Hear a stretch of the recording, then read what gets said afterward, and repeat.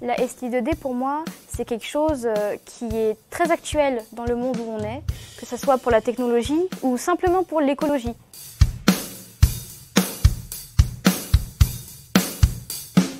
La seconde, c'était encore le cas très généralisé. On voyait que des bases et c'était pas forcément très intéressant au début, on peut se dire. Et c'est grâce à un exposé d'une élève qui était venue dans notre classe qu'on a pu la découvrir.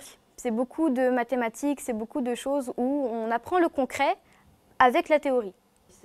Maintenant que je suis en terminale, c'est vraiment la filière que je voulais. Donc le projet final auquel on a bossé, c'était du coup euh, l'arrosage automatique d'une toiture végétalisée. Donc normalement, on a euh, une épreuve écrite en ingénierie, une épreuve orale en anglais, une épreuve avec le grand oral du coup. Ça passe très bien, on est bien préparé dans l'année et on nous fait savoir tout de suite qu'il y aura des épreuves et qu'il faut se préparer mentalement à ça. Après le bac, la STD ouvre beaucoup de portes que ce soit euh, dans des langues, que ce soit en ingénierie, que ce soit euh, juste dans la gestion de projet. Dans mon cas, ça sera surtout assistante technique d'ingénieur. Donc c'est euh, une filière qui nous permettra d'être chef de projet puisque tout le long de l'année, on apprend à gérer un projet, à devoir travailler en équipe. Passionnant, intéressant, créatif.